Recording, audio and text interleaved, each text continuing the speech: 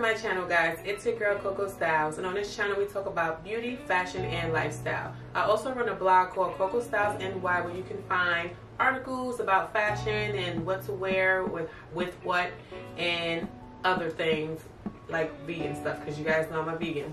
But today I have five style mistakes that women are making that we can fix right away. So I'm just going to jump right into it and I wrote some notes down guys because I was out this weekend and I saw some things that I thought that I would kind of talk about today.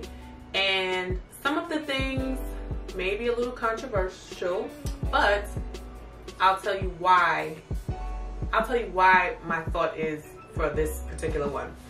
So the first one is one of the biggest style mistakes that women do is wearing clothes that are too tight for them. And I don't mean too tight as in a bandage dress. I mean they will have on jeans that are too tight around the waist. So what happens is your size is spilling over or if you're wearing a bra that is too small and you're spilling over the top or you're spilling over at the sides.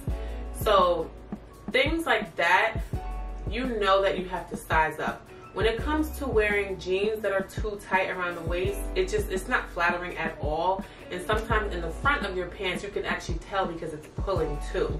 So even if you have on a sweater or a shirt that's covering it, you could actually tell from the crotch area that it's pinching your leg because they're too small.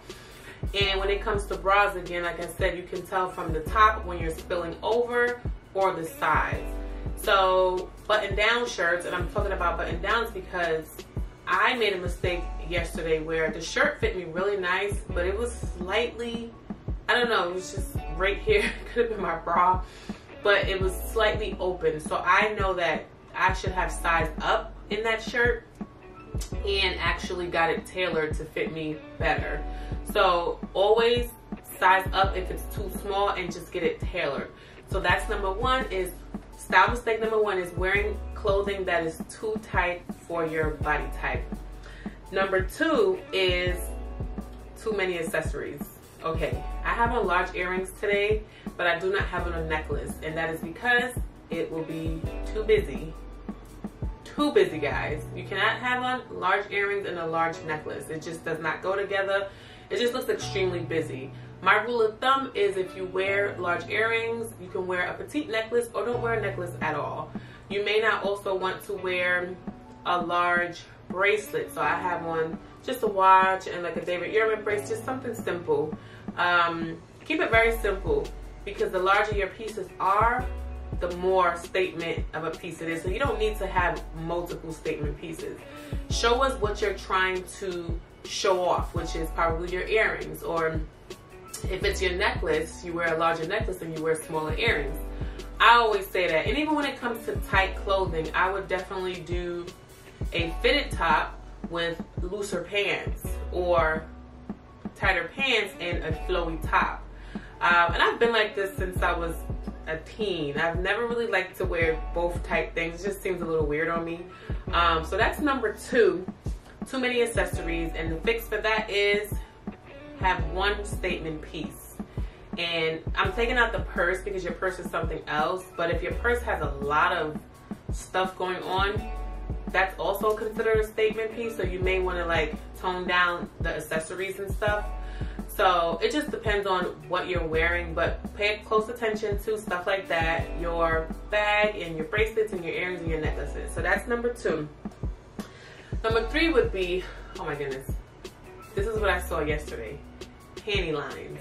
Oh my goodness. Oh my goodness. Oh my goodness. Now, ladies, they have so many different panty line panties, undergarments that we can purchase now. They have seamless underwear. They have uh, thongs that are seamless because all thongs are not made equally. We know this because sometimes they have a bunch of stuff on the back where you can still actually see it through your clothing.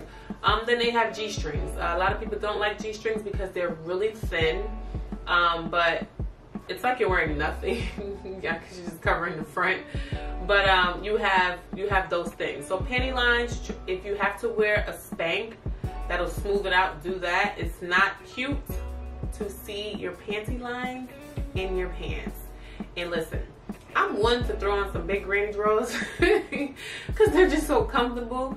Um, but I don't want anybody staring at me if I have, you can see my panty lines. And we know people stare, women stare, men stare, kids stare. So try to find the best undergarments for your clothing and go from there. I'm gonna see if I can find some good brands for you guys that I use, um, that I could recommend uh, for you ladies. And just, and, and like I said, even seamless underwear are not all created equally either because sometimes they roll a little bit. So you have to think about that too. So that's number three. That is showing your panty lines and bras too. So again, with the bras, you don't want to be spilling over. You don't want the sides to be spilling over. So just be mindful of stuff like that. So number four would be, and this is the one guys, I think you guys may have something to say about it, but dressing too young for your age. And I don't mean wearing like a mini skirt maybe, I don't know. But I mean like shopping at teen stores like Forever 21, for example. The stuff is very young, and I also think that it's not great quality. So I think that as the older we get, we should be incorporating clothing that we can have for a long time. Enough with spending money over and over and over, um, buying stuff from Forever 21 uh, try to just get a better quality. But I think when I when I think of Forever 21, I think of 21 and under. I don't know. I do. um, so when I see older women shopping in there, I'm just like. And I already know how it's gonna look on them. Um, you don't have to stay away from. I don't really like trends, but it doesn't necessarily mean that it's not for your age. I do feel that you can incorporate some of the trends into your your style. But let it be age appropriate, guys. Like, you know, yes, we can still wear shorter skirts and stuff like that in a nice way because I, I see it all the time. I'm from New York, so growing up in New York, I've seen it. Going to work, I've seen it. I've seen it all. So I've seen ladies who can wear short skirts to an office and no one say anything because she's petite. And then you have those who are thicker they're gonna say something. So just be mindful of your body type too. I'm probably gonna do a body type video. I'm just trying to make sure that I have everything maybe for you guys. But um yeah, so that's number four is dressing too young for your age, guys. And comment below, what do you think, what do you consider is dressing too young? Um I'll give another example. When I see some guys in like oh, don't kill me guys, like multiple chains and stuff. And I know that they're older or they have like, just like, a, just, just almost like really busy looking, honestly. It's, it's a turn off for me. Um, I don't think men have to do a lot to be, to look nice and to look put together. I think they have it the easiest. They have really nice things for men. I'm not saying that you have to wear a button down shirt every day, but if you have nice tailored jeans and a shirt, it doesn't matter what, even if you have a hoodie, like it could be a nice hoodie that fits your body, you can still look really nice in that. So enough about that dressing too young. And my last style mistake that I see women make is overdoing it with patterns. Now, I'm gonna try to find, so I'm gonna insert some pictures of ways that I think that you can mix patterns and it looks really nice. And I'm gonna insert some that they're overdoing it. Like it's just, they're just trying to, I don't know, make a statement, but it doesn't look good to me. Um, they may like it, but if you really think about it, it just looks like a bunch of stuff just thrown together. And um, they do have ways you can mix patterns and you can really put it off, pull it off really well. So I'll link some pictures and stuff for you guys or I'll just insert some for you guys. And let me know what you guys think about any of these. Do you have any style mistakes that you have done or do, do you do any of these things on this list? And if you have any others, let me know. So if you like videos like this, please comment below. And if you stay to the end of this video, please comment Coco we see you. And don't forget to follow me on Instagram at Coco underscore styles and underscore NY. And go follow my blog at Coco Styles NY.